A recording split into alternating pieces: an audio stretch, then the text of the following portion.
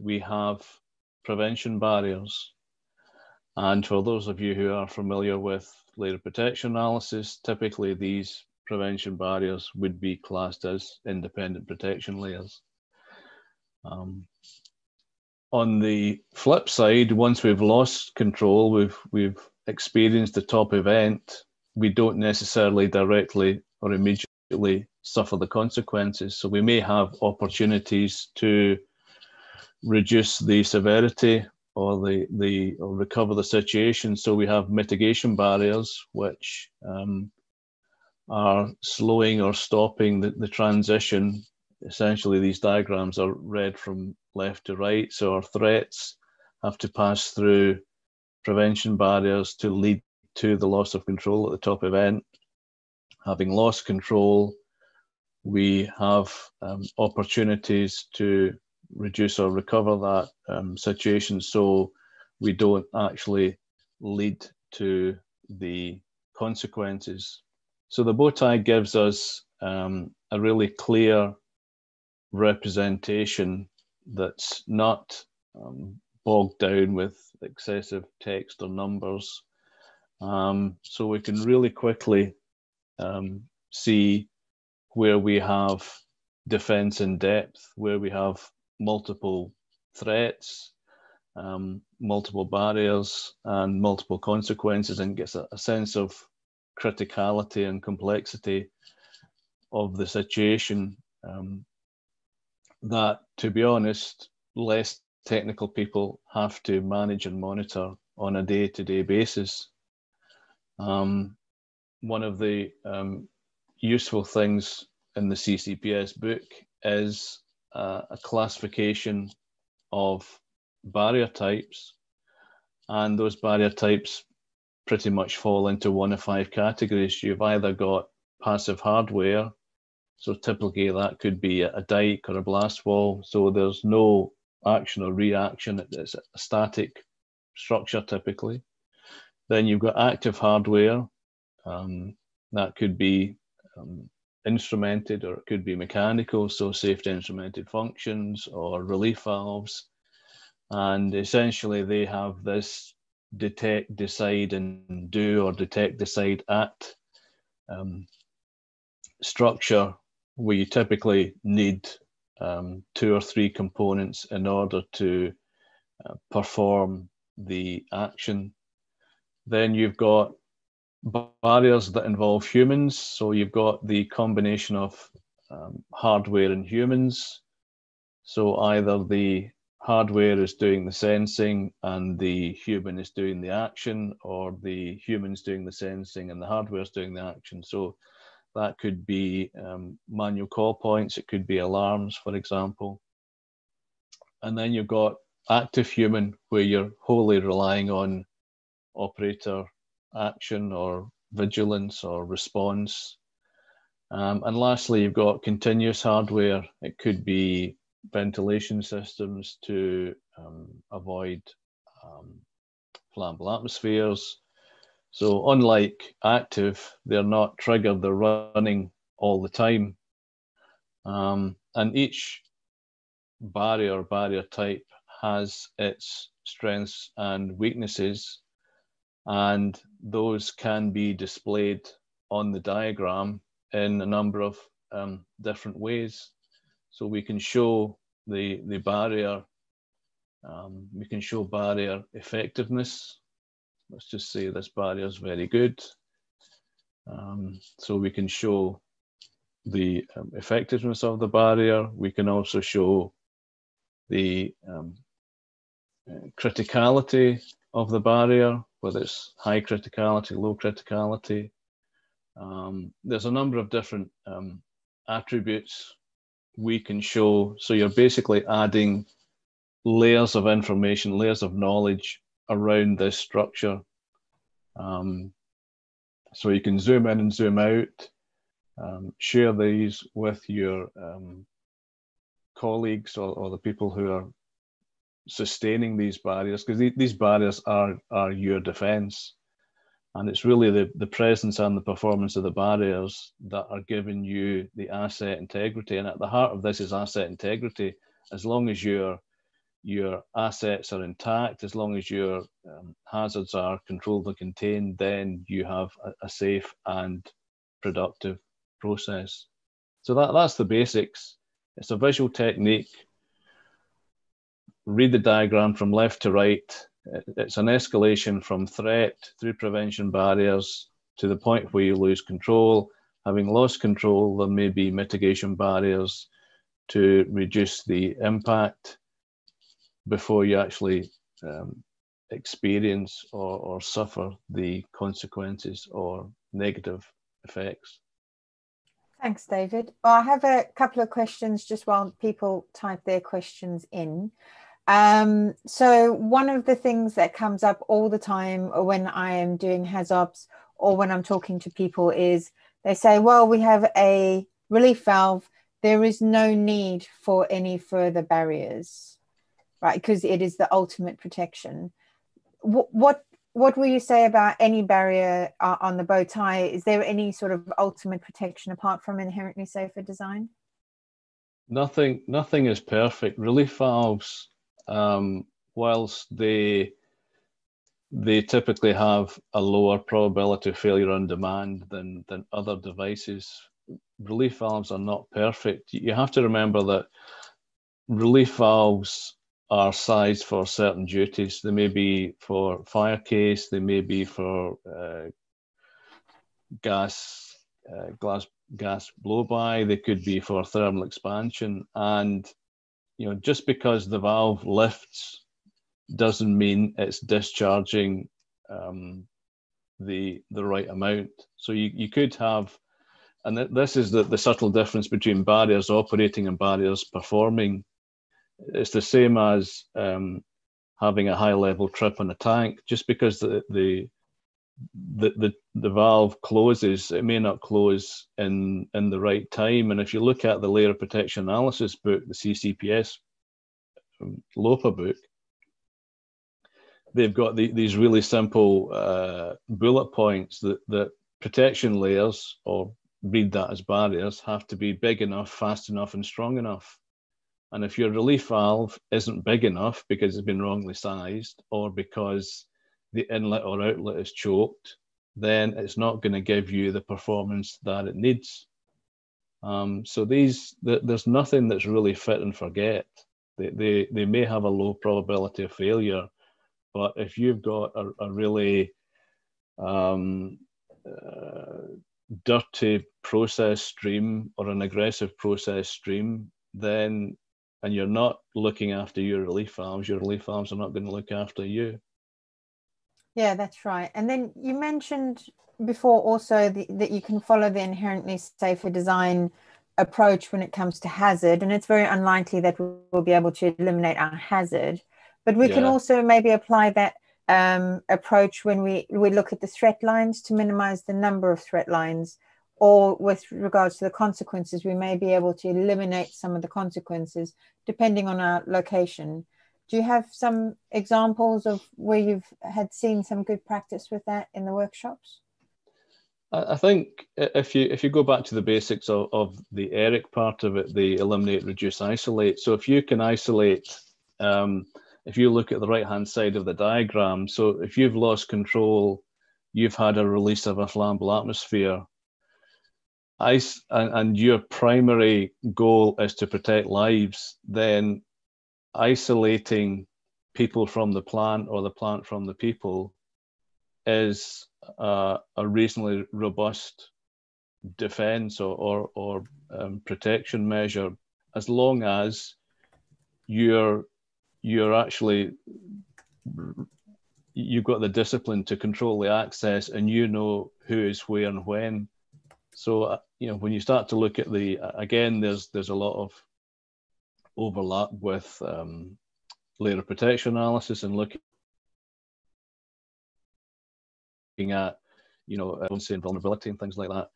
Um, but you know, if you could build your facility in the middle of a of a desert or where there's hardly anybody there or an unmanned platform, then you've got you, you're certainly not going to harm anybody or you may harm them when they're doing routine visits or routine maintenance, you're pretty sure you're going to damage the asset um, and you're probably going to damage the environment. And I think that's one of the the useful um, outputs or outcomes from this technique. So when you're losing control of your hazard, you've got multiple consequences. You've got human consequences, you've got environmental consequences, you've got asset consequences, and all the um, the barriers, um, the, the mitigation barriers on the right hand side will be completely different.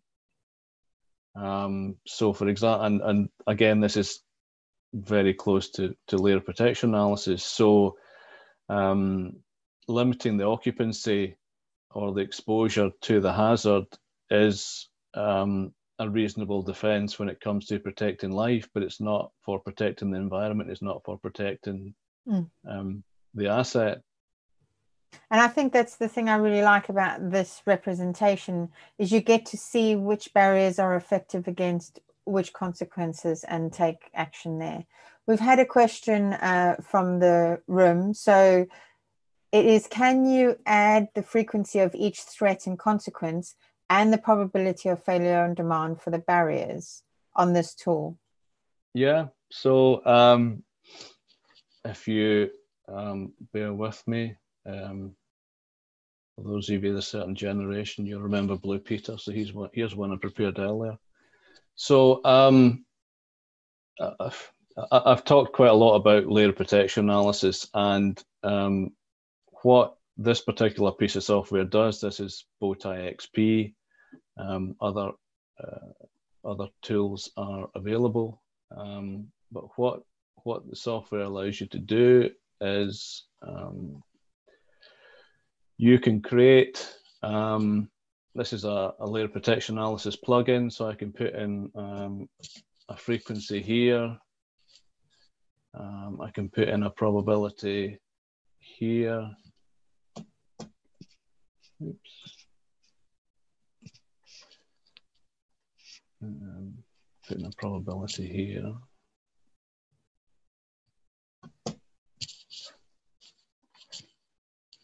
And then if I show that,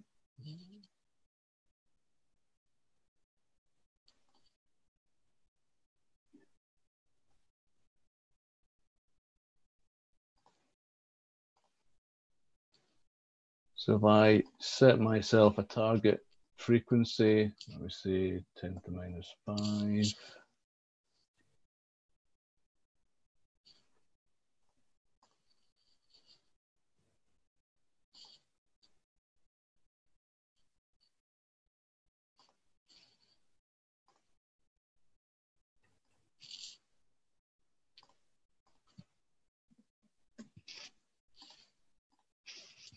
So now, now this is telling me that if I've got a, a, threat or initiating event happening once every 10 years, my prevention barrier has a probability of failure of 0.3. Um, my mitigation barrier has a probability of 0.5. So my frequency times my probability times my probability gives me a frequency, 1.5 times 10 to minus 2. I've got a target of 10 to minus 5. So the reality is I'm not um, I'm not going to meet my um, target frequency. If I change that to be uh, 10 to the minus 3 or something, and change that. So I can, I can, I can do numerical analysis on my scenario, but you have to remember two things. Firstly, you've got to have a robust scenario. So there's no point putting good numbers on a bad diagram. Secondly, putting bad numbers on a good diagram is just as useless. So um, the the CCPS book, um, does, CCPS LOPA book does have some typical um, initiating event frequencies and has some typical probabilities of failure, and you can actually build that into your um, analysis. So here I've got all the uh, from the CCPS book um, here. Uh, so pipe leak. This is the frequency of a, a pipe leak, 10% section for 100 meters. um, I can I can use that in the calculation. Similarly, um, my um, uh, probabilities. So you can build this into the tool, so everybody's using the same probabilities, the same frequencies um, to do the analysis. But ultimately, the best analysis comes from the the the performance of your own facilities. Um, but at least this is a starting point um, to to drive an element of consistency. So hopefully that answered the question. That um, does. And then the, you mentioned in the introduction that it's very easy to draw a bad bow tie, and I've seen some bad ones in the past. But if you can just give us some quick things that you know we can look at a bow tie and go, oh yeah, no, that one's a bad one or that one's a good one. Are there some things that we could have a quick look at when we when we open our bow tie to see whether we're on a good a good foundation or not? So um, typically, um, there's, as I said before, with the active um, hardware barriers where you've got this detect, decide, do structure. So let's just say you've got a safety instrumented function. Um, so you've got a sensor, a logic solver, and a final element. You need all those three components to make the function function. Now, um, if you representing that as three separate barriers, that's giving you a false sense of security. Because if you're losing the sensor, the logic solver is blind, um, and the and the uh, the final element can't act. So that's a sort of um, classic um, mistake to believe you've got this diverse defense in depth when you've actually got a, a whole lot of common cause issues. Um, so that, that's an obvious one. Um, in terms of the the threat um, breakdown, um, it's it's not really appropriate to include a barrier failure as a threat. Um, and you know, going back to the uh, the, the, previous diagram, um, there's that this guidance comes out of the CCPS book. So three things: the, the threat's got to lead to the top event. It, has got to have basically the, the, the, means or the drive to get there, but not to be um, failure of a barrier.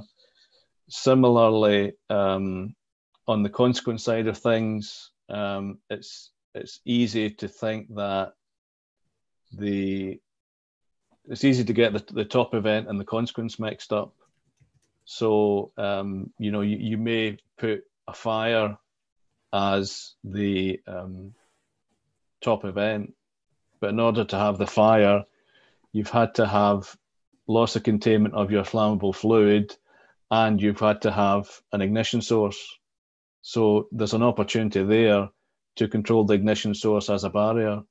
So, um, like I say, it, it's it, it's not good practice to, to mix and match your consequences and, and, and your top events. And again, um, I'm not trying to, to sell this in any way, but the um, the CCPS book has some really good guidance here as to what makes a good hazard, what makes a good top event, what makes a good consequence, what makes a bad consequence. Um, so I encourage people. It's I don't know, hundred dollars, something like that. Um, it's it's not going. It's like any any publication. It's like you know the the if any of you have read the HAZOP standard 61882, it won't make you a good HAZOP facilitator. It's a starting point and it's it's it gives you a sense of consistency, how to um, how to avoid the pitfalls. But the, the book is a really useful reference and it, it's really practical. Um, like I say, there's there's tables in there. What's a good a good threat, a good barrier. Um, um, I mean, a common thing I've seen is that um, they put a separate barrier for the maintenance of the safety critical elements. Yeah, I mean, that, say, that... you know, it has to be working to be effective, and so the maintenance is not independent. And then they put another one for the design of that particular equipment. So the design, yeah. the operation, and the maintenance are all separate out into three barriers. Again, giving you a sort of false sense of security. Yeah, I mean that that that is a, a really good example of, and again, um, if you look at the the CCPS LOPA book, which is like nearly 20 years old now, it it's got a really useful table about what's an IPL, what's an independent protection layer, and what is not. And training is not an IPL, maintenance is not an IPL. What these and, and the the the bow tie book explains us really well, and what it explains it as is that these are this software calls it escalation factor, but you know the, the book calls it a degradation factor. Um, if I could spell it. Um, and for those of you that are familiar with the Swiss cheese model, what your degradation factors are are basically these are threats to the barriers. These are what's creating or enlarging the holes in your Swiss cheese slices. Um, so they're allowing, they're weakening that barrier and allowing that transition or that trajectory from threat to top event and top event to consequence. Now, to, to, to, to stop the, the degradation of the barriers, you have um, you have these degradation controls, and that's where the maintenance, the competence comes in. They are sustaining procedures they, and those yeah yeah because uh, procedures are just a piece of paper. Procedures are not making things safe. They may underpin it um, but you know you know whether it's it's um, fatigue management or competence management or document management these these are underpinning the the presence and the performance of the barriers to make sure that they are doing what you what they're intended to do you're giving them the best opportunity to to be there and do the right thing as this um, and this is where I believe that the term escalation came from. These um, these factors are allowing the escalation from threat to top event and top event to consequence. Um, so they're allowing that that to to to, yes. to snowball. I have another question from um, the audience. It yeah. is um, CCPS guide is a good starting point. Are there any guides, other guides that you follow um, for other viewpoints? Um, there's a Norwegian. Um, oh I forgot the, the, the the number of it. There's an I I can I can dig it out and we can put it in the video or something. There's a, a Norwegian offshore uh, petroleum standard. Um, is that the um, is, you, yeah, what's it? Is that the the NORSOK process safety one? It's, number twelve. But anyway, yeah, it's easy to find on the site. Yeah, there, there's there they've got um, a similar taxonomy, shall we say, of of barrier types. Um, but they're, they're, they're pretty much um, it's the same idea that you've got at the what what's what's um, you know keeping you safe is the the presence and performance of these hardware and human um, measures, these organizational and technical measures that are kept um, available, are, are kept um, operable by your management systems.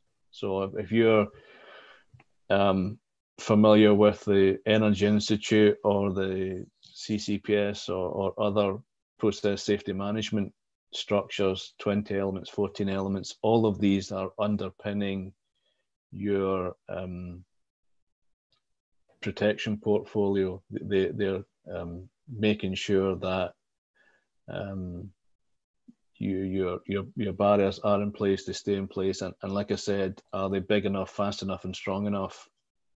Um, and I, I think as well, what the the bow tie does um, is it, also gives you a really good platform for management of change to do that impact assessment. If I delete this barrier, what am I sacrificing?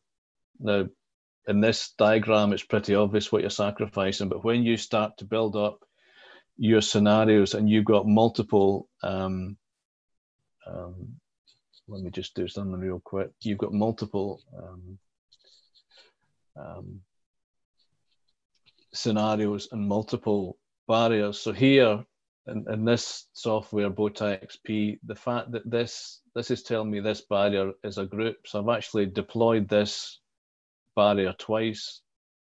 If I was to um, start to use that, that barrier in multiple locations, the, the, the software makes it more prominent what I'm actually jeopardizing by defeating or degrading it. Um, if, if that makes sense. So you've got that that um, that clarity, and, and it's the same with um, temporary changes. So frigs or overrides or things like that. You you've got an immediate sense of what am I what am I doing? What am I changing? Um, what am I weakening? Um, because I've got this this real sense of context. Where does that particular barrier fit into my overall um, strategy? So I have another question from um, the group is can we go through an example? So I suppose what I could do is if I give you um, a threat line, maybe we can just give a representation of how that might um, look. Yeah, yeah, yeah. Yeah. So, so um, our threat is um, uh, it's we're we're going to be the thing that we're going to do is we're going to overfill our tank and um, it's flammable liquid, a bit like Buncefield. Um, we are starting to fill our tank when it's already overfill. So we are putting in too much. Um, you know, the, the tanker is filling to the wrong tank.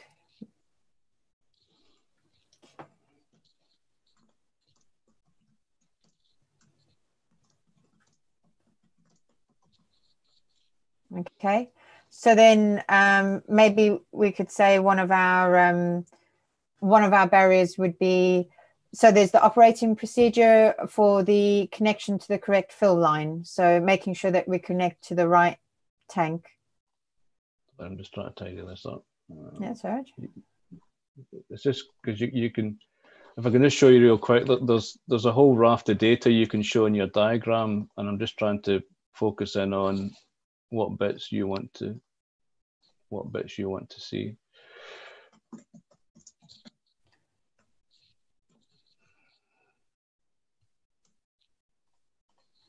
Okay, and then the second one is we have a high level alarm on the on the tank, which would alert us to the tank uh, becoming overfill with an operator response associated with that.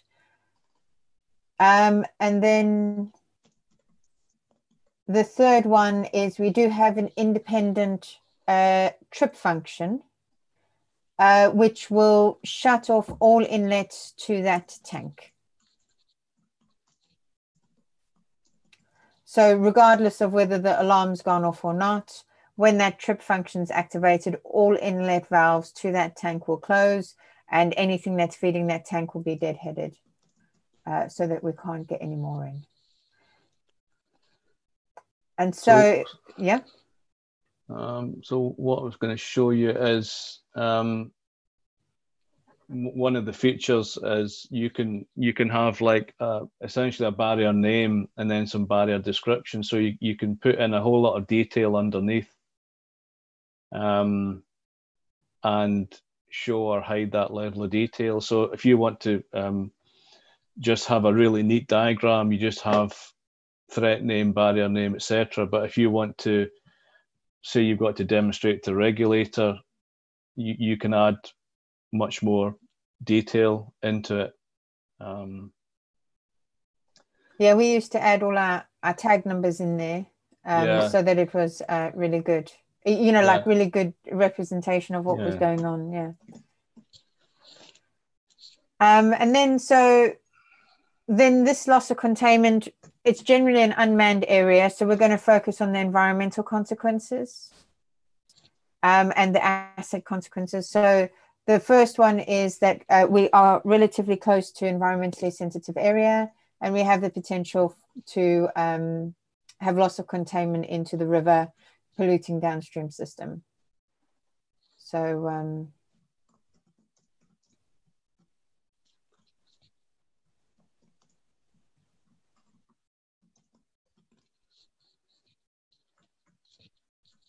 should say there's a spell check this. I'm just um, just my fat fingers.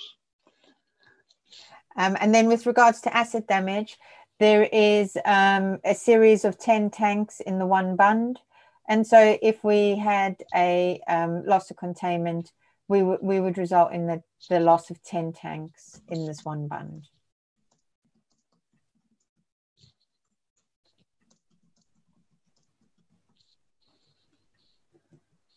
Okay, and so that some of the barriers we have, uh, we do have ignition control within the bund. So everything is designed, uh, so it would be the second one, I think, not the first one.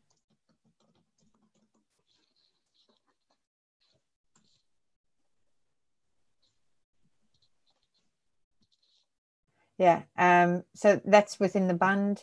We have, um, with regards to the environment, we have got a bund which is sized for 1.1 times the volume of a tank.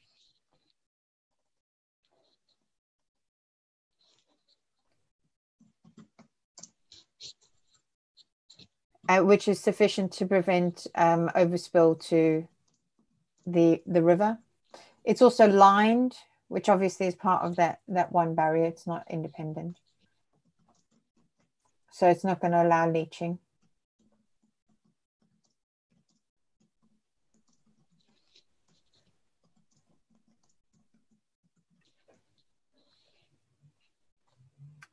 Okay, so and then I'll just well that's just kind of a simplified representation. Um, but I wanted to just go through sort of one of the escalation factors we might have. So um, we know from our recent inspection that our high level alarm is non-operational. So um, our recent inspection has shown that um, the the there's obsolescence issues with regards to the alarm, and so we are unable to replace the parts that we need. Um, so it's non-operational.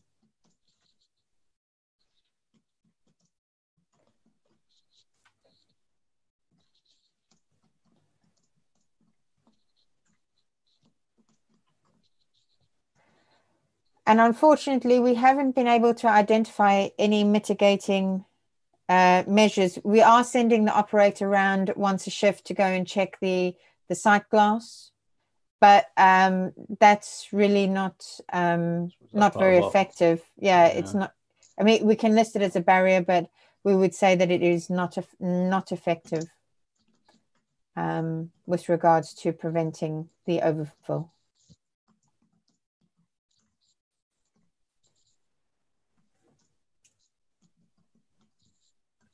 Okay, so some of uh, we've had another question. I think that's kind of a good sort of scenario to answer the following questions. Is um, can you show some light on all the process safety aspects for a flammable tank? So we've we've kind of covered quite a few of them here. We've got the ignition control. We've got the bund.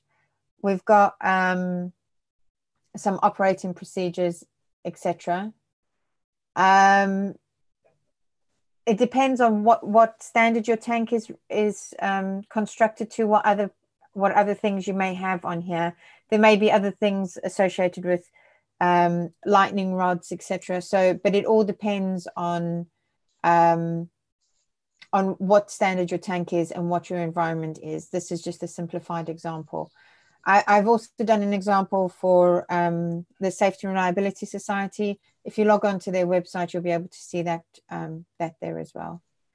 I think that's an important point to to mention here is ignition sources come in various forms. So whether it's lightning, whether it's static, whether it's it's uh, hot work, you know, and and you can you can um,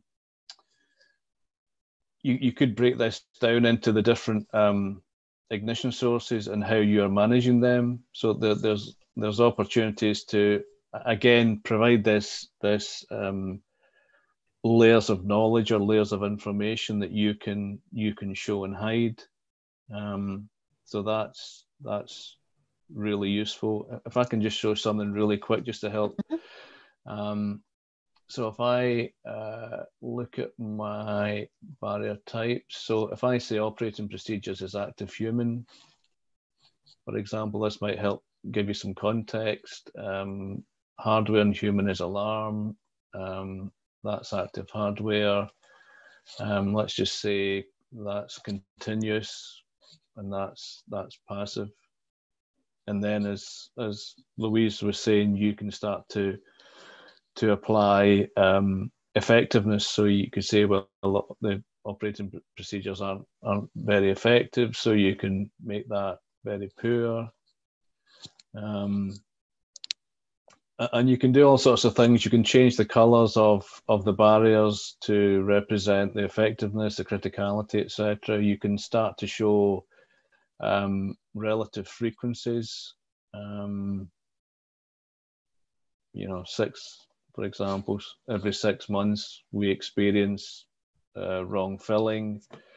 Um, so you can have a, a, a qualitative view of my my likelihood, my probabilities of failure, because this is a very poor effectiveness, so that's a high probability of failure. And then down to damage to the environment, you know, what's my what's my sort of scale? Is a major concern? You know, you, you can you can start to to do this, and, and these are things that you would normally do in in a risk register or or something like that. So it's the same information. It's just prevent, presented in a um, in a much clearer um, format. Yeah, it's much easier to um, answer questions when using the bow tie than right, trying to explain tables of loads and loads of text. I've got another on a question here. Is it possible to use the bow tie to analyze domino effect scenarios? So I think David, you answered this before because with the bow ties, when you use a when you use a barrier several times, they're all linked. And so if you identify a weakness with that barrier, it demonstrates the weakness throughout the whole system. It, it does. I mean, I, I, guess that's that's an element of of common cause failure. I think specifically, um, I think a real quick um, I'm just going to put some stuff in here. Um, I'll do that. Uh,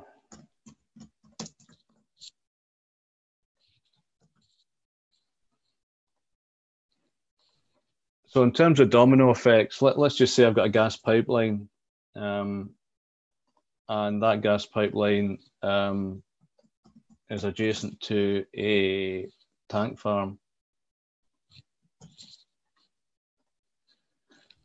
So um, if I if I lose containment or control of my flammable gas, um, I, I, could actually um, uh, create a um, a jet fire, for example, that would lead to uh, an impact on the um, tank farm. So this this is really messy, but basically the consequence from your gas pipeline loss of containment becomes a threat to your tank farm. So your your jet fire is actually weakening the integrity of your oil tanks. Um, so that that's an example of, of the domino effect where you've got an adjacent loss of containment which is weakening your um, uh, your sort of primary containment. So and then I suppose what we could do is from this we would be able to then identify if there were there were common modes between the causes of the first one and the sort of mitigation of the second one you know which could have caught i mean i don't know if you've if you've had if the cause of the first one was poor maintenance associated with um, wall thickness checking. If the same person is doing the wall thickness checking to make sure the integrity of the tanks is good then you maybe have a common cause if uh, uh, absolutely and, and, and you know that that's that's a really key point here. So, if one of the things, and, and this is very much based around the barrier, the barrier is is the is the key element here. So, what you can do in here is you can assign accountabilities to um, barriers. So, say for example, um, that, that's the wrong that's the wrong person. That should be operations. But you you can assign um, um, do this real quick. Um,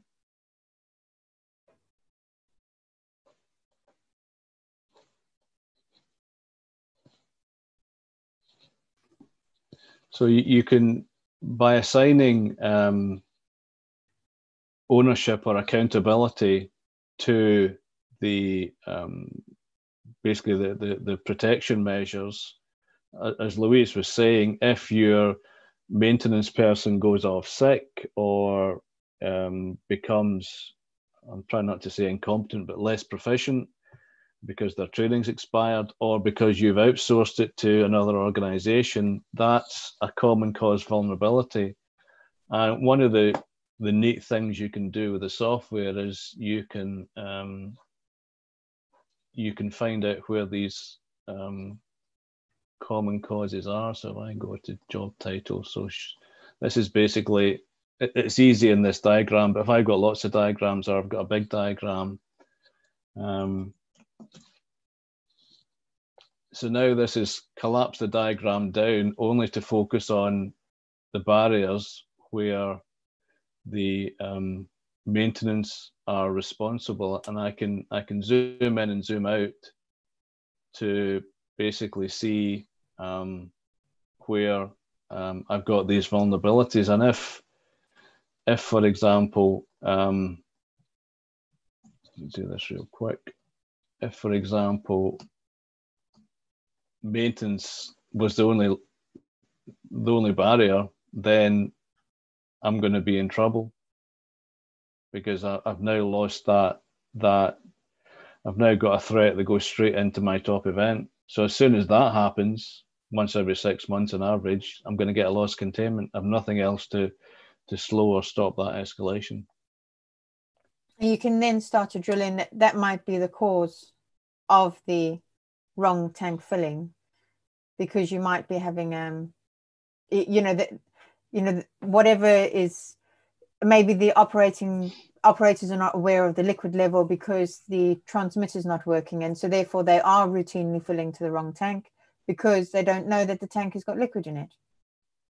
Um, so again, you can do a reverse, you know, like a reverse analysis as yeah, well. Yeah. Whether and any think, of these weakened barriers are contributing to your yeah. increased cause. Yeah. And the, the, the software, um, again, you're not really seeing the best of it here because it's quite a simple diagram. But what this register does is it says, so you can sort it by so for example, here, this high level switch has been used twice. Now, if I if I built up my portfolio of scenarios and that, that high level switch was used 20 times, for example, then I'm putting an awful lot of faith and reliance on that one device. Mm.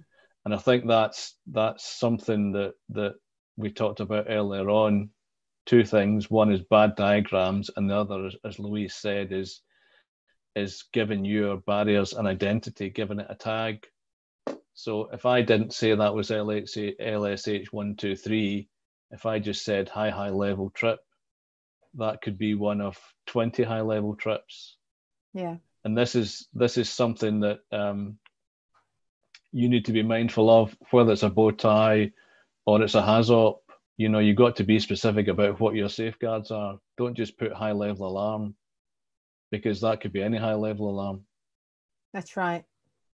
Yeah, and that's a, a mistake I often see. And then it becomes very difficult to unravel once you've done the workshop. I have another question, which I think we answered before.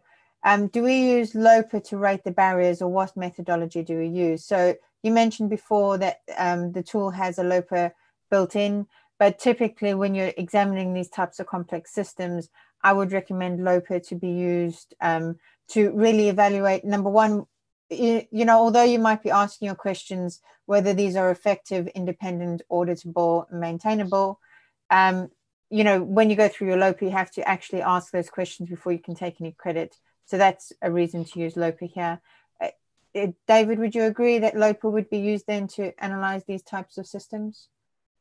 I, I, I agree this is a really good platform for conducting and communicating LOPA, but um, you know, there, there's, I think it comes down to proportionality. And I know that a lot of companies, particularly when they're, they're doing functional safety work, they um, maybe more European countries than North American, but a lot of companies will have like a staged approach where they'll do like um, I don't know whether Louise has touched on this before, but whether you've got a, like a risk graph approach. So you'll have a risk graph, which is essentially a screening. And if the risk graph suggests it should be SIL 2 or SIL 3, then you'll go into LOPA. So you you may find that you've got potentially 100 safety instrumented functions. You may not want to do 100 LOPAs, but by using a screening technique, whether it's a matrix or risk graph, you can trim that down to be 20 SIL 2s and SIL 3s and then do LOPA on those 20. That's that's a sort of um, cultural approach or depends on, on, on you know, the um, the engineering principles of, of the, the company. But um, you know, Louise is right. You're going to ask yourself the same questions whether it's it's a qualitative or a quantitative approach, um, fundamentally these need to be underpinned by you know good data and good evidence.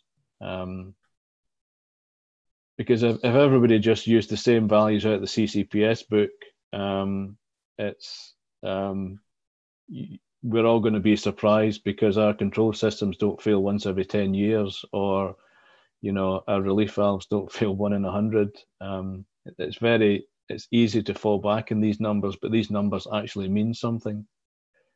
Yeah. Um, but also, when you, if you're going more conservative than the book, just exercise extreme caution. You know, uh, don't. Yeah, I, I, don't... absolutely, and I, I think you know there's there's lots of publications out there. If you're if you're in an offshore environment, then you're perhaps used to OREDA but bear in mind, OREDA is built up over years and years of salty marine performance. And if you're on a squeaky clean pharmaceutical site in the home counties, you you're not going to get that level of aggression. So, uh, you know, you you have to you have to be um, uh, wise enough to to to bring some context to these numbers. And you may find that your failure rates are actually worse because you've got old equipment that's difficult to maintain. As Louise said, there's maybe obsolescence issues and you can't find the spare parts. So um, by all means, use use books to get a starting point, but certainly the regulators want to know that you've actually taken these things seriously and, and got more appropriate and relevant and statistically significant data. Yeah, and re- just really thought about it. Yeah. Um, I've got a question about putting procedure as a barrier. So, as we've mentioned in the discussion, you may have a procedure as a barrier. As we mentioned here, there's a, there is a, a perfectly credible scenario. We have a procedure to fill the correct tank. Um, it relies on a level gauge, which is independent of our high level alarm and independent of our level switch. So, you know, that may be a perfectly credible um, barrier. But as David has said here, it may not be very effective. So it's really about understanding the effectiveness of your barriers, which ones are going to fail more frequently, and how much weight you put on them. What I would say is if you're building any bow tie, if you have more than one operational uh, barrier, you're in trouble. Um, and that's probably because you've got the same operators doing uh, both tasks, and so therefore they're not independent. Um, so really, when you put in operational uh, barriers, make sure you think about each one, making sure they're independent, completely independent, i.e., different people do them. Um, they're written in different documents, etc. Completely independent, and um, in general, I wouldn't see two operating procedures unless there was a very specific reason, like you needed to operate something what, before you were executing an engineering change. I think David, anything you want to add there? Well, I, I, I know I sound like a stuck record, but I really encourage um, everybody to have a look at this CCPS bow tie book because there's a whole chapter dedicated to human factors or human organizational factors and that there's there's two schools of thought that, that the book covers as to whether you should you should treat whether you should be thinking of humans creating threats or humans being barriers. And and there's some really good discussions in the book. Um, as long as as long as you stick to to the to whichever approach makes sense to you. And i think different different organizations or different cultures if you've come from a, a facilities which have a lot of automation um, versus ones that are more manually interactive, then you've maybe got a different approach. But um, like I said right at the start, you can really quickly create diagrams in the software. The the, the, software is is not where the is not the clever part. The clever part is your experience and, and your knowledge because these are you're you're using this as a platform to to collate and communicate knowledge and um, the the diagrams um, are essentially a, a foundation for your asset management or your your barrier management. Um, uh, you know so um, they have to they have to make technical sense they have to make, make operational sense um, so yeah, it's it's um, it's easy to draw it, but to, to draw one um, that that that meets the objectives, and, and you may find that your your diagrams have different objectives. It may be to um, to communicate complex scenarios. Um, it may be to for a, a, safety case or a safety report where you've got to demonstrate to the regulator that you understand your hazards and you're in, in control. So it may be um, a lot more um, complicated, different levels of detail. Um, and again, the book goes into different different ways of using it. So that the, the diagrams, the the boxes, the barriers, the circles, dead easy, but to actually get um, you know an effective one takes takes some practice and some experience but please don't be put off by it. Um, it's it's there to to basically represent your knowledge. So we have additional two questions which i don't think we're going to have time for tonight unless you want to stay on for another five minutes. The first one is um, have you carried out exercises considering how to limit the loss of system function. So if I answer from my experience, yes, a lot of the time we, um, when creating these uh, diagrams, we're trying to, especially on the mitigative side, think about how we can limit this um, environmental damage or the asset damage. So how can we stop getting to that point? Um, and as well with regards to the threats, sometimes there's a way of um, minimizing the threat such that it cannot result in the loss of containment.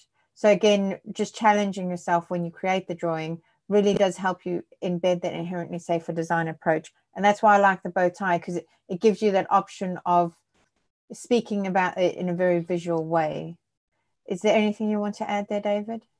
No, I, th- I think um, you know just just if I look at, at the heart of this, if we if we talk about Buncefield, you know, you had an overfill of a tank, which everybody remembers.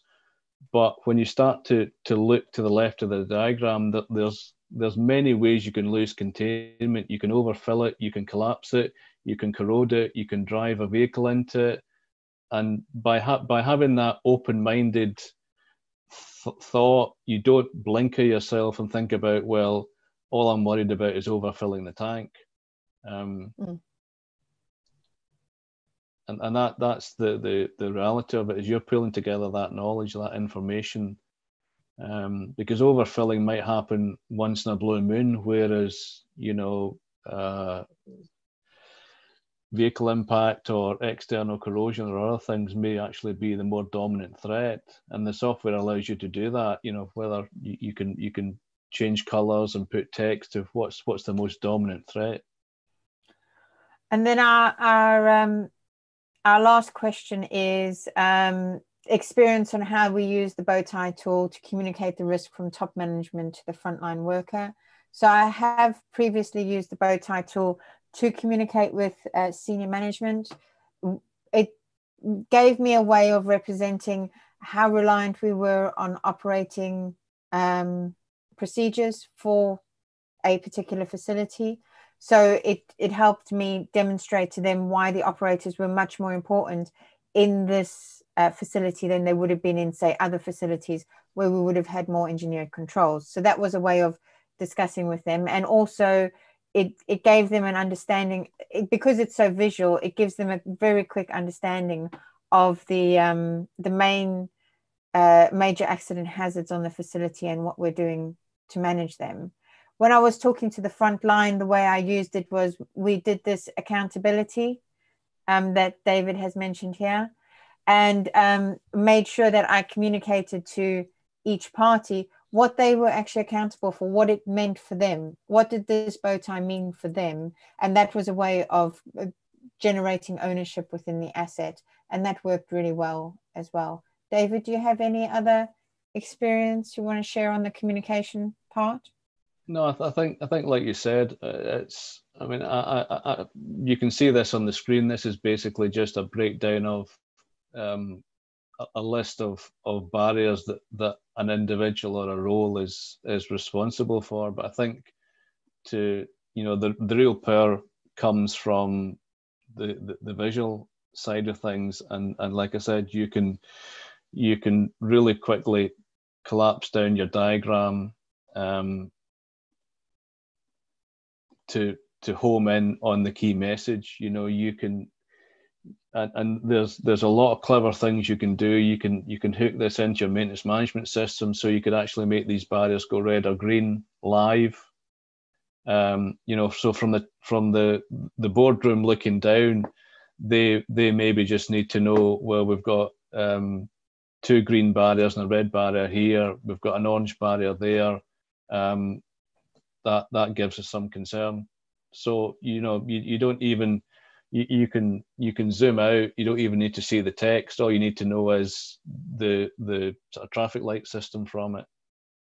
Um, yeah, I would say that the one thing that I found with the bow ties is it didn't represent the sort of underlying um, competencies. For example, leadership is a foundation for the whole system working really well. Um, but when you're looking at specific barriers, etc., that's not really coming through as a message um, on the bow tie because the leadership team are not uh, responsible for turning valve X, Y, Z or for maintaining whatever. They're, they're not. It's not their responsibility. Um, however, that is kind of we need to just remember that that is the foundation for this, and without that strong foundation, all of these things can fall apart anyway. Um, so, but that's something that you can fall into a trap if you're just looking at the bow ties. You can forget that there are other supporting supporting um, structures yeah, around yeah, it. and and and culture's the same. It's it's difficult to mm. measure leadership and culture, but they they are two key you know pillars in process safety management. Okay, um, I am going to just thank you very much, David. Really appreciate your time today. Oh, you're welcome. Um, next week, we've got Nick Howard, who's going to be coming to talk to us about functional safety, getting a good grip on functional safety. So we will cover some of the things we've covered today, but it's going to be a much more in-depth discussion about functional safety. And uh, you can come and ask any questions you have about functional safety. So thank you everyone who's attended today. Thank you, David, again for your time. You and I hope you all had a productive session. Thank you. Thank you.